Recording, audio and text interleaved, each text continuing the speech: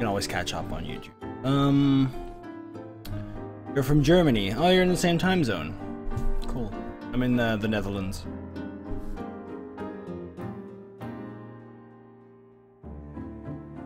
They're all either in the middle of classes or past midnight.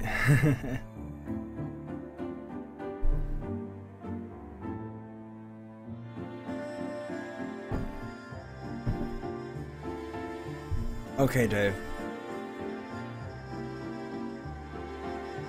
It's like right next door. yeah, kind of. No, she was. Uh, what? Jenner plump featured an increasingly sadistic smile. No, she was worth it. She was worth this. Five minutes from the border, cool. Sometimes people just had to make sacrifices for the people they loved. That's just that was just the way the world worked. That was not a smart choice, Hana. Right now, Jirard's dream is more important than some stupid tournament. Jirard would have wanted you to compete in the tournament. Or joining some stupid club. Jirard's dream and happiness were more important to me than... Than what? Than my own? No, that was silly. Anyways, the decision was already made. There was no point in wondering this.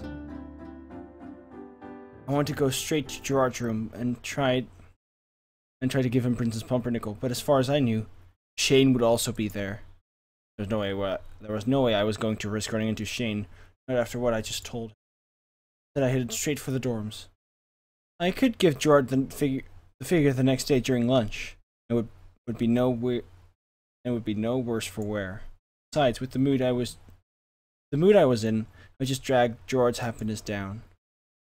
Every minute I had Prin Princess Pumpernickel out in the open was a moment of buzzing anxiety. Anxiety. Whoa. I cannot speak right now. Ah. I ran up the stairs as quickly and carefully as I could, holding the box by my fingertips so my sweaty palms wouldn't damage the sides. To my great surprise, I made it to my room without incident. In fact, there was nobody even around to make a mess of things. I pulled out my keys and opened the door in the signs of the hall. Yay! I made it! I made it!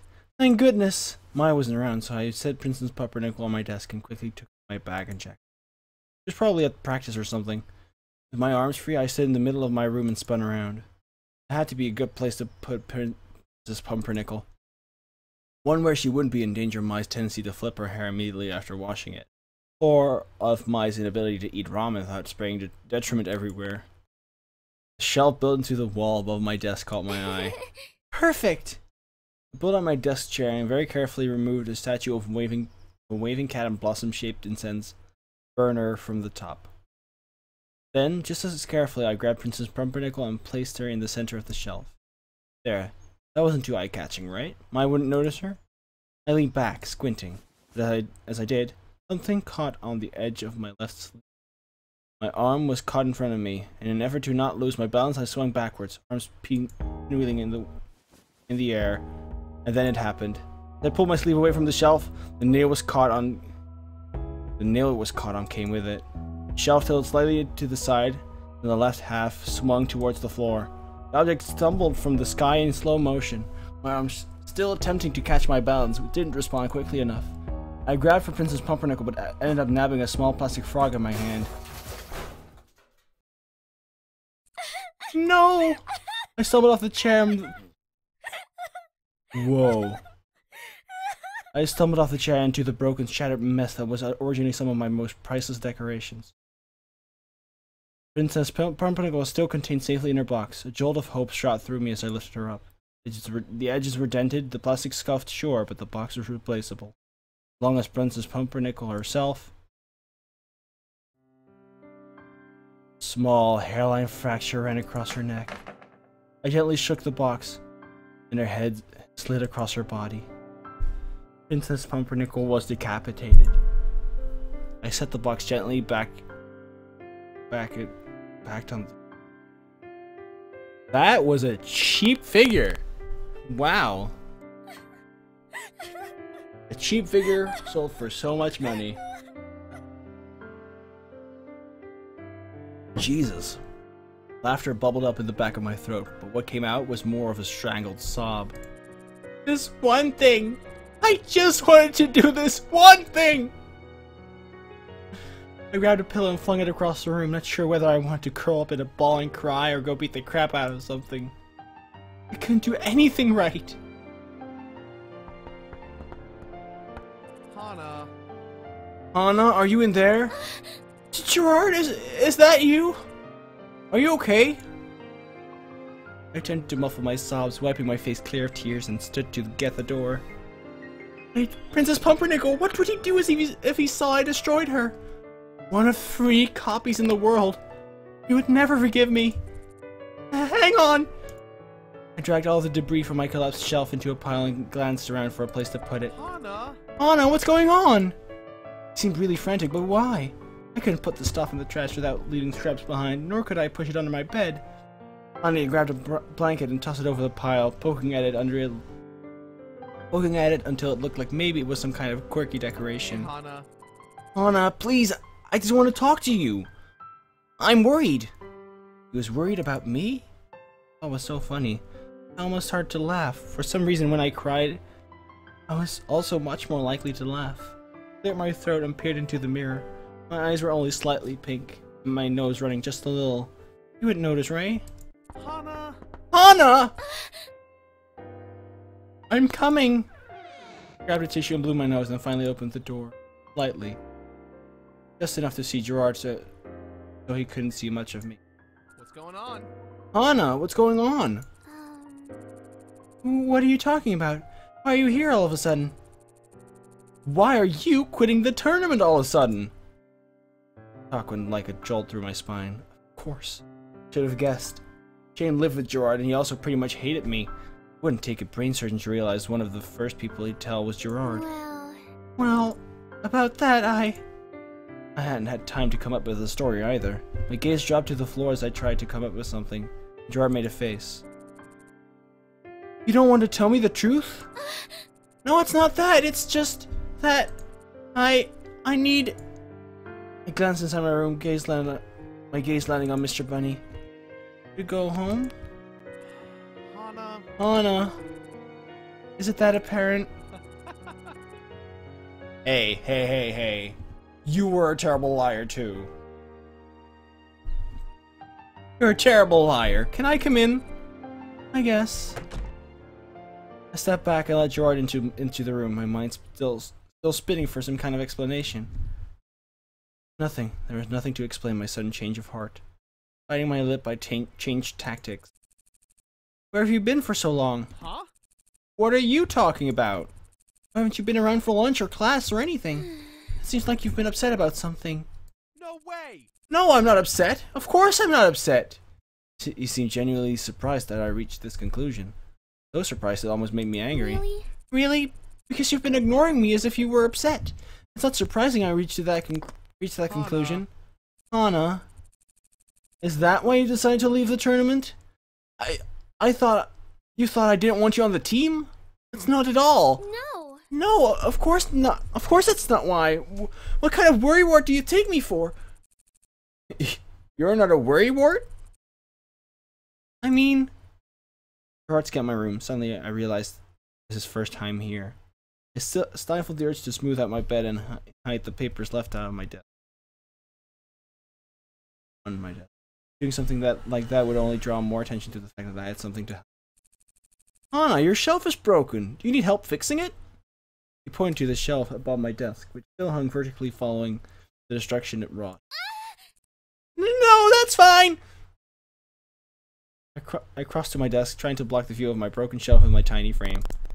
Jirard's eyes traveled from the shelf to me to the blanketed pile next to me. Uh. What's that? Immediately, tears pricked my eyes. Nothing, it's nothing! Nothing, but you seem really sad about it. Are you sure I can't help? Jirard was staring at me with large puppy dog eyes, all sincerity and compassion. I slid to the floor, the energy draining from me. I was just trying to help you find Princess Pumpernickel, but I pulled the blanket off the pile, grabbing the box on top. I, but I decapitated her and ruined it. Now you're going to be so mad at me.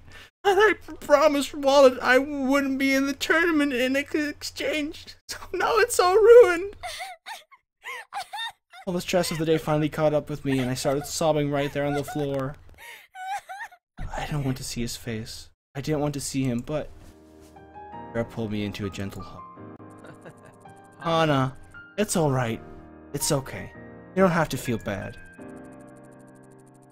You promised to you promised to quit the tournament just to get me Princess Pumpernickel? I think that's the nicest thing anybody has ever done for me. Really? Is it? Of course it is. It makes me kind of happy that you go so far for me. But you definitely shouldn't ever go so far for me. I'm not worth giving up your dreams. But I wanted to repay you. Because you're always taking care of me and doing things for me. And I des- don't deserve it at all. Whoa, whoa. Whoa, whoa, whoa! Who says you don't deserve it? I. Why don't you deserve it? Memories from the past trickled into my mind. I was cold, I was cruel, was completely despondent. I was somebody I was ashamed of being. I'm not a good person. Ger- Jirard let out a hearty laugh, his shoulders shaking against me and jostling my head. You're not a good person? Would a bad person try so hard to get me this figure? Or to help her team win the tournament?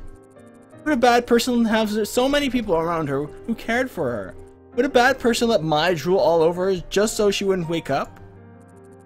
You're kind of silly, Anna. Maybe. I wasn't completely convinced. Compared to Jirard, I was Scrooge. I promise. I wouldn't be doing so much for you if I thought you were a bad person, Hannah.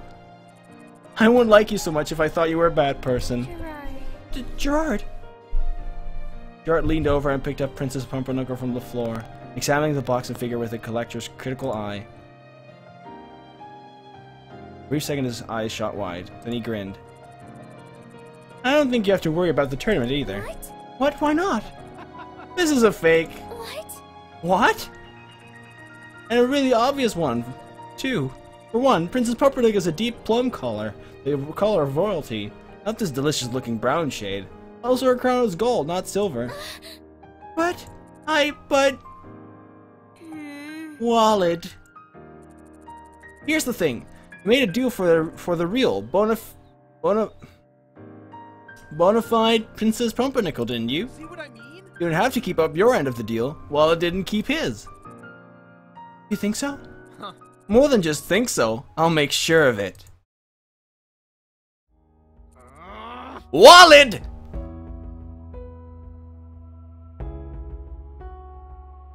Jirard, my hand in his, shoved up open the cafeteria doors and bellowed out into the busy room. Yes? Wallet's eyes slid from Jirard to me, and realization dawned across his face. Uh-oh. Hmm. Come with us! Cafeteria was st- still and silent as Wallet scooted his chair out from the hidden block table and crossed to us. Guard opened the door for him, and we stepped out into the. I think you know why we're here. Um, Yes, I think I do. I just wanted to let you know that since Princess, since your Pumpernickel figure was a fake, I just wanted to let you know that since your Pumpernickel figure was a fake, Hana is not obligated to follow her side of the deal. I can't believe you would do something like this. what? Fake? It's not a fake. Yeah, whatever. Of course it was a fake. Princess Pumpernickel's figure is supposed to be purple. What? What? But. Psh. you should just come clean. I already know. So what's the point of pretending you didn't know? You didn't do it now. But I really thought. Walt dusted the ground with a shoe. Jirard sighed. hey, Hana. Anna, I'm going to leave this up to you. You are the one he victimized, so it's up to you how you want to deal with it. We can we can tell the others, or we can ask Wallet to leave the tournament, or or well, how do you want to do this? I want to load. I want to save. Um. Well, it's pretty clear that he didn't know it was fake. Well, did you seriously not know? It was sent. I was sent it by a fan. They said it was the real deal, so I just assumed it was, and I knew you and Jirard were looking for it so long. It was stupid of me to ask you to leave the tournament, that's for sure. But I thought, but I honestly thought we were we were both going to benefit from it. Uh, Walid, you're you're really stupid. I know. I guess we'll see you in the tournament tomorrow then. I guess so. Hold on. Okay, 20 tournament points. I guess so. Thanks for hearing me out, you guys. It's no problem. It was only right. Well, let's start from me to, G- me to Jirard. A small wind blew, stirring up leaves from the Um. Honestly, I kind of, ho- I kind of hope you guys win. You deserve it. Then he was gone.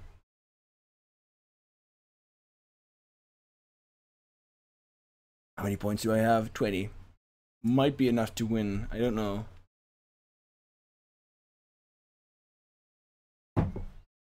Finally, the day of the tournament dawned. The day that was so, so important, we were willing to throw away almost everything for it. So important that we sacrifice parts of ourselves just for the chance to succeed. I shook the thoughts out of my head. Why was I being so dramatic this morning? Just a single event, sure. I decided whether I joined the normal boots club or not. With a sigh, I pulled out my uniform. Honestly, I was glad I was almost over. I stepped out into the fresh spring air, taking a deep breath. My event was one of the first, so I had to be earlier than most. I set my shoulders and started across campus. The arcade at which the tournament was being held was much smaller than I expected.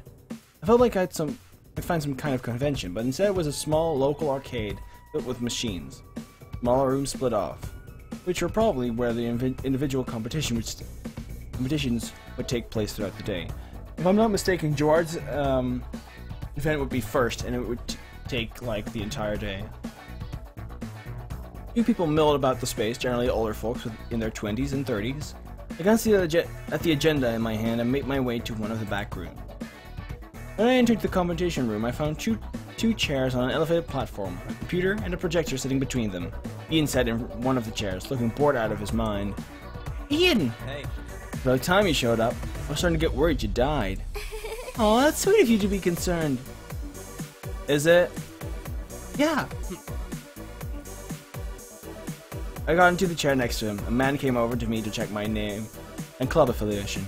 I said I was a member of the Normal Boots Club, a small church of pride making me sit up straight as I did.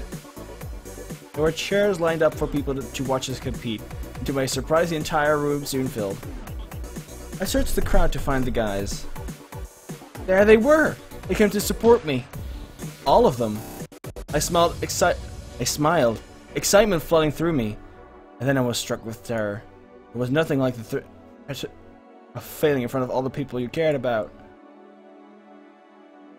As I stared worriedly into the crowd, a blur of movement caught my eye. Waldo was sitting with, with the rest of the Hidden Block Club, looking distinctly uncomfortable. I lifted a hand and waved to him. He returned it half-heartedly. We sat together, neither of us making any form of small talk, until finally the lights around us dimmed and the projector started up. Main menu of Dumby Doom's, Re- Dumby Doom's Revenge on screen. It was time to start. As the MC began his introduction and explained the rules of the game, Ian turned to me, a smirk on his face. Sure you're ready for this? yeah. You bet I am! Ready to go? The man turned to us. Ian and I nodded. Then, three, two, one, start! The game began. I immediately clicked to fill my screen with two more lines of blocks. Ian began working with what he had.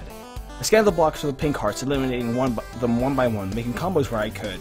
I still wasn't advanced enough to make plan tons of combos ahead of time, but I could make it much more likely for combos to happen through probability. Pinks were all but gone. Green leaves were next. Everything started flipping at the top of the screen. It must be comboing, which meant I had a few seconds before those blocks would fall. I set up a combo on top of the screen and started eliminating the orange blocks below it.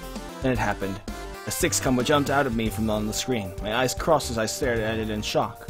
I just had to move the top block over one space. Then, as quickly as I saw it, it vanished. The blocks looked normal again. You're dead! Ian's blocks fell upon my humble kingdom, and I slipped the combo into place. Two, three, four combo, five combo, six combo, seven combo, eight combo! As Ian's attack converted into blocks and hovered above mine, I set up several more combos and waited for them to fall. 10 combo! Legendary! Gumby Doom fired out rainbows over Ian's zone and then... Blocks. So many blocks, they didn't come in a chunk, they came in a torrential downpour, all over Ian's side, sliding from left to right and back again. Ian blinked, his hands and eyes moving frantically over the screen. I wasn't sure he, he had ever seen something like that before. I sure hadn't. I continued to combo while this was happening, but at this point, there was no need. Ian's screen filled up, he kept trying to make combos until the very end, but... GAME OVER! That was it. I won. I stared dumbfounded at the screen in front of me. Ian's mouth hung open, the room was silent. I might still get a good ending. Then... Whoa! Yeah, Hana! Aw, yeah. I knew you could do it! I glanced up to see the room applauding, all of it, even the Hidden Block Club.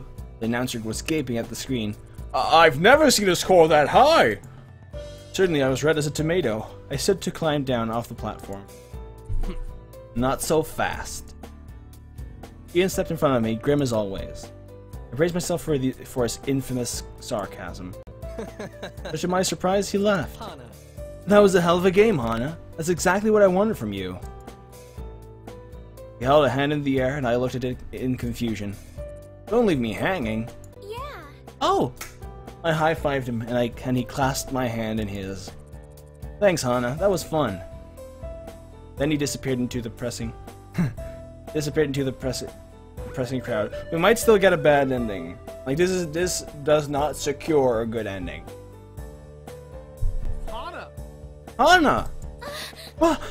His hands grabbed my waist, and suddenly I was lifted into the air, spinning around the room. Jirard! Jirard let go, and I collapsed onto him in the warmest bear hug I ever got. Boom, baby. Boom, baby! You did it! Yeah, I did it. You're the best. I knew you could do it. You were all worried, but I knew from the very beginning that if you put your mind to it, you could succeed. You're just a, you're just amazing, Hana. Right. Jirard. Oh, my event's up next. Will you come with me? Yeah. Of course I will. Jirard and I stepped into the main arcade room, searching for his event spot. We were luck. We were lucky your event was what was the first one. Really? Really? Why? I wouldn't have been able to see your event if- if it was any later. Jordan and I stepped into a rather small, rather small, almost closet-like room. Two separate TVs were hooked up to old Nintendo 64 boxes. Jeff sat in sat in a chair in front of one TV set, watching a game's intro sequence, something about backpack birds. I knew it! Banjo Kazooie! Play on repeat. That is the completion game. Like the collectathon. Aside from those chairs, there was a little room to sit, or even just even stand to watch them. That's not surprising. Jeff and I will probably be here for an, for a few hours. Our friend will will be the last to finish up. A few hours? Completed. Complete it. Well, more like several. At least six. Six? Hey. Hey, dude, ready to get the show the show on the road? Just about. Good, because I'm not about to go easy on you. Right.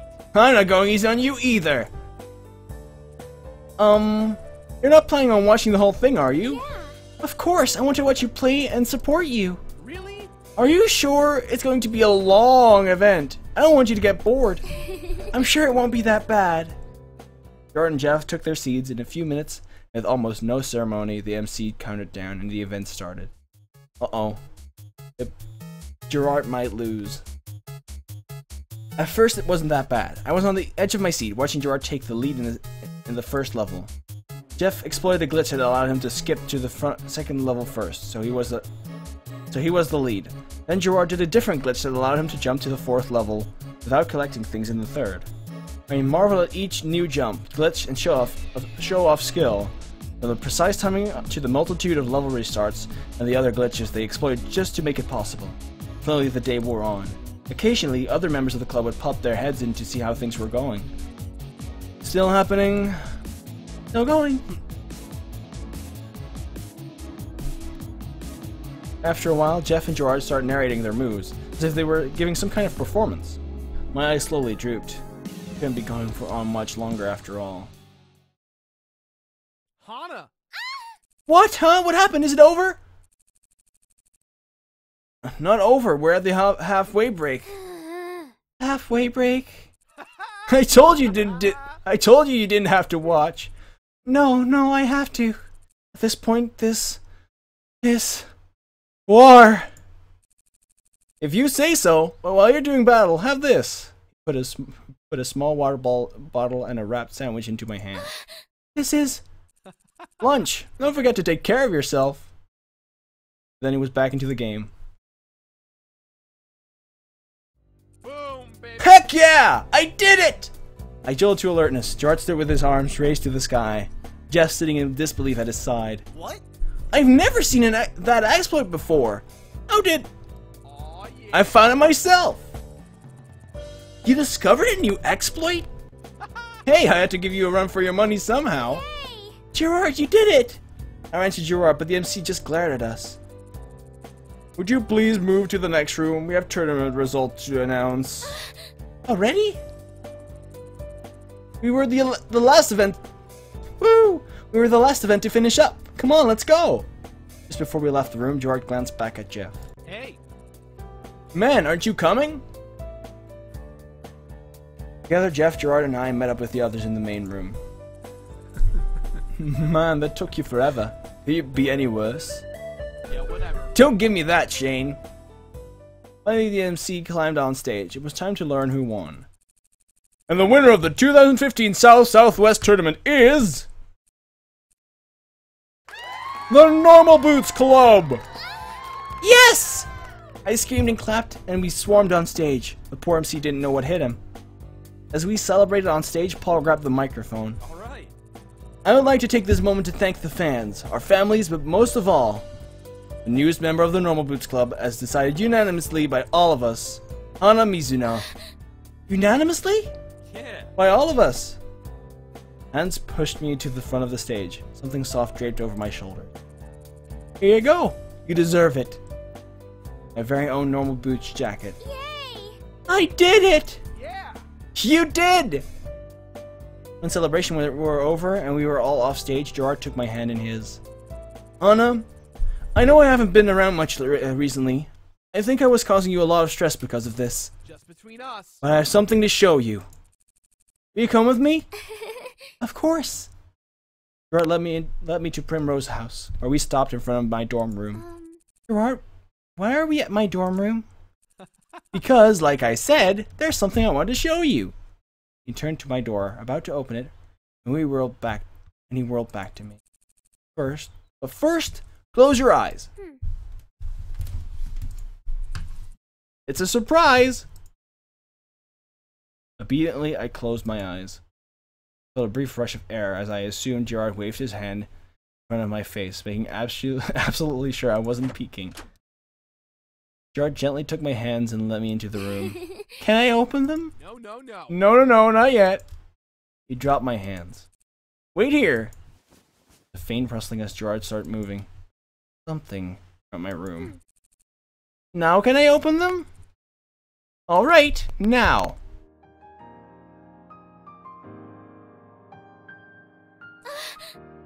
Jirard, do you like it? I I've never seen so many paper cranes in all my life. Remember that story you told me about your mom and about the little Hana? I think it's time that little Hana stops giving herself a hard time. You mean? Huh? There's 999 cranes here, and it needs just one more. Jirard placed a square cut of decorative origami paper in my hand. Would you do the honor honors? Slowly, delicately, I folded my thousandth paper crane. And that and that makes a thousand! Jirard. Jirard, this is amazing. I'm sorry I didn't tell you, but I wanted to surprise you. During lunch and after school, I went to the dorms to learn how to fold paper cranes. It took me a while to get even get it right, so it was a good thing I didn't like force him to tell me what he was doing. It took me a while to even get it right. Once I finally learned how to make them nicely, I got to work. And now, I'm not so Well- sure. I know I'm nothing special, but, but I was kind of hoping that we could be together as a couple. What? N- nothing special? No. You think you're not nothing special? You're the kindest, most caring, coolest person I know. You stand up for yourself and what you'd like unconditionally, and you're always so, so. Don't ever let me hear you're nothing special again. Does that mean? Yeah. Of course it does. Yes, let's be together. Really? Really? I jumped into Jirard's arms and, to my surprise, as well as his, kissed him. Ooh, Hana.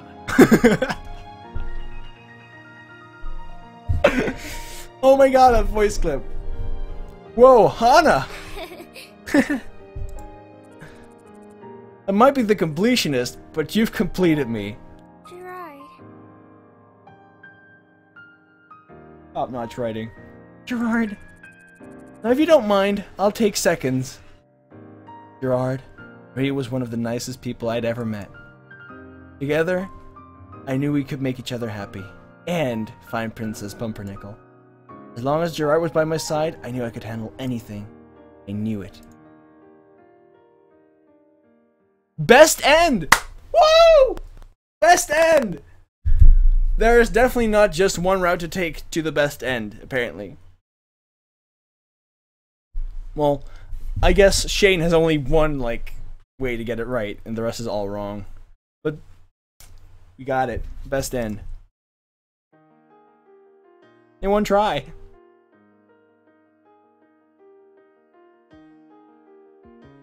Thank you guys almo uh, all so much for watching. We're gonna um, look at this little credits scene. Hope the sound is not desynced this time. Might be.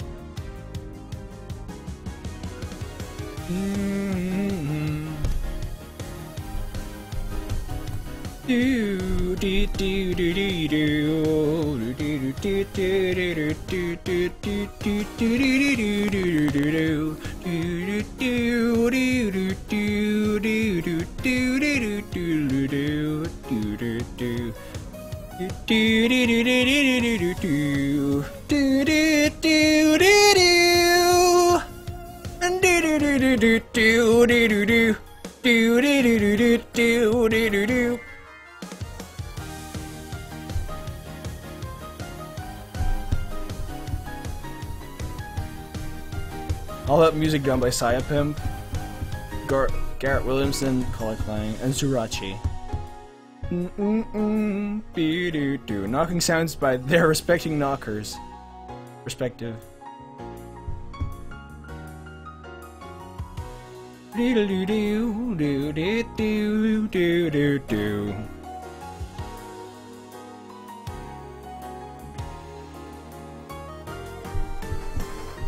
Do do do do do do do do.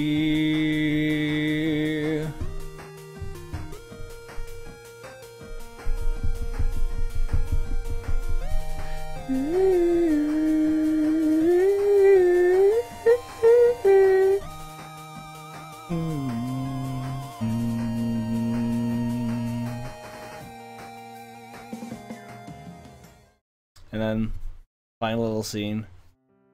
Night fell as Jirard and I officially cemented our relationship. The reactions from people around us uh, were, as expected, unsurprising. Whoa! You two are dating? Whoa! I'm shocked. it's about time you gotta move on, Hana. I'm happy for you guys. No, really. Whoa. Aw, BBG. We gathered to we gathered together all the paper cranes and arranged them into families, piling them around, around my room until they resembled my own itty bitty kitty collection. Hey, Hana. Would you ever be interested in starting your own IBK collection, Hana? Would I? I thought you'd never ask. But even after all of that, we, as we snuggled down to watch a movie, one question kept niggling itself at my side. Jirard. Jirard. What's going on? Yes, my dear Hana. How did you manage to get all these cranes into my room? Well, Well, about that. How many of these damn cranes did Jirard fold? So Please, can you do me?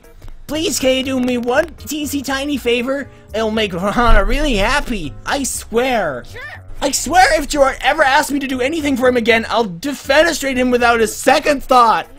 He's gonna owe me the big time. Big time, you hear me? Big time!